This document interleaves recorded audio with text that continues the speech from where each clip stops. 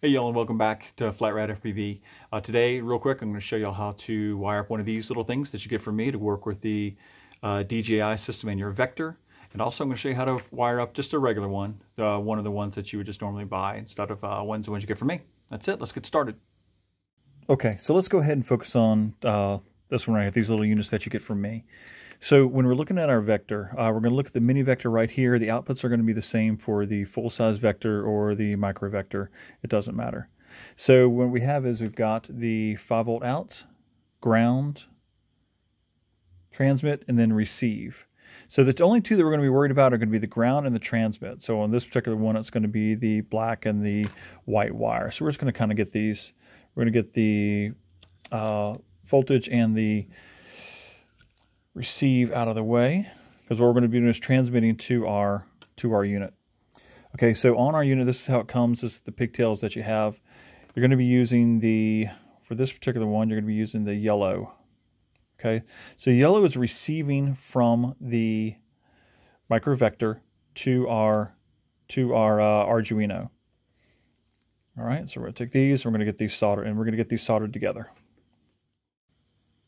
All right, now after we have that, we're going to uh, focus on our air unit for a couple seconds. So what we want to look at for the air unit is going to be the white wire coming off your harness. That's going to be the uh, receive for the white wire. So we're going to take that off. So we're going to take this, and what we're going to do is in this, again, with this unit right here, we're going to take the white wire off of that, and we're going to, uh, we're going to solder those two together as well. All right? Okay, so after that, we're going to take are, this where it gets a little bit tricky with the air unit, okay? So on the air unit, on the harness right here, you've got a, a signal ground, which is going to be that uh, brownish looking wire that comes out close to the end right there. So if you want to find that, it's going to be this. So this is going to be your signal ground from your air unit.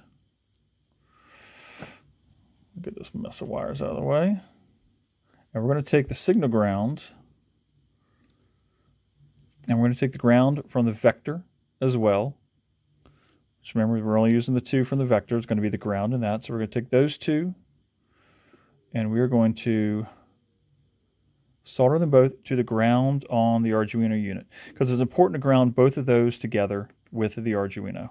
All right, so let's do that.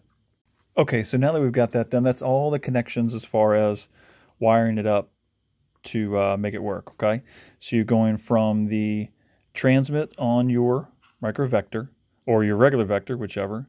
It's going to go to the yellow wire of this, which is going to go uh, to our Arduino.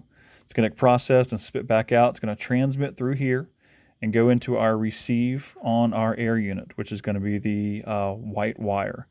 So we tried to color code that together as best I could for you. So it's going to be white to white, yellow to white on that side.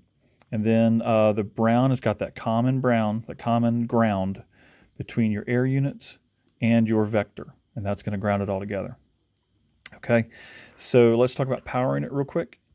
So these are going to be your power leads, and there's a couple things you can do with this. Uh, typically, what you're going to want to do is use a BEC like this that can do 5 volts, and uh, that's what I use on pretty much all of mine. Now, if you're lucky enough, if you're using the uh, Arduino board with a full-size vector, you'll have a plug on the wiring harness for the 5 volts that you'll be able to use that for. You would just put a little JST connector on this, and it would plug right into that little white uh, little white JST on your full-size harness. And I'll put a picture of that up so you can kind of see what it looks like. Okay, so uh, we're not going to wire this up to the power because people are going to power from different ways, but uh, this is typically what you should use for that.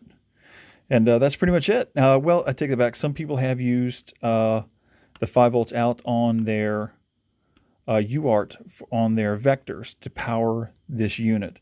Now, I've heard yes and I've heard no on both those series. It seems like if it's going to have, if you're going to have a problem with a vector, you don't want that to interfere with the power distribution going to your video link.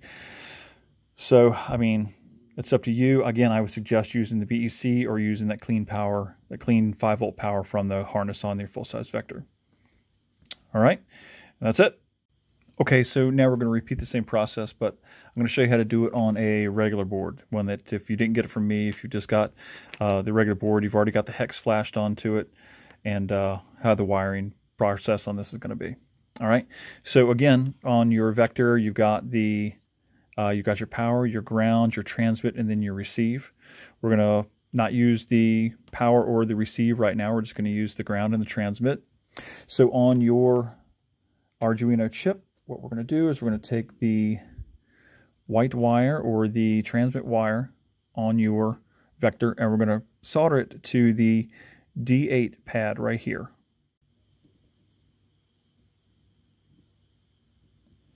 So once you get the D8 soldered in there, we're going to take, I'm going to go ahead and focus on the white wire from my air unit, air unit harness, and that's going to be the receive wire on that. And we're going to and we're going to tap that right into this last hole right here that says TX1. That's where we're going to put that.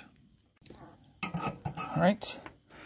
So once you get your transmit wire hooked up to that to go into your uh, air unit, now we're going to focus on the grounds. Okay, so the two grounds need to go together. You've got your ground from your microvector, and then we've got the brownish looking wire from your air unit, which is the signal ground. And we're going to take both of those together and we're going to put them in the ground right here of your Arduino board. All right, so we've got, of course, we've got our transmit from the microvector going to, sorry, going to D8. We've got both our grounds going to the ground, and then we've got our uh, receive from the air unit, the white wire going to transmit on our Arduino. Uh, other than that, you just need to make the power lead connections, and uh, that's it. That's all the connections that there are to make happen. Uh, when I do the soldering on these, I try to take and I will uh, solder the solder the little area. I'll put the wire in there as well too, trying to keep it make it uh, a little bit stronger. Uh, any surface soldering, things like that, seems like they can come off, but whatever your method of soldering is, I'm sure it's going to be fine. So as far as powering the unit goes, there is a couple methods that you can do. That we spoke about this a little bit earlier, but uh, again, using the BEC is probably the most reliable one to use, and it'd probably be the way to go. But that's it. That's how you uh, wire those up. Okay, so I hope that helped. Uh, I get questions about that all the time about the wiring up of the module or just on the regular Arduino board. So that was a couple examples there. Uh, there's also some wiring diagrams on the Facebook page if you still have some questions. Uh, you can also uh, message me, contact me. I'm happy to try to help you out as best I can. And that's it. I appreciate you uh, watching the video. And if you liked what you see, then uh, like and subscribe. Thanks again.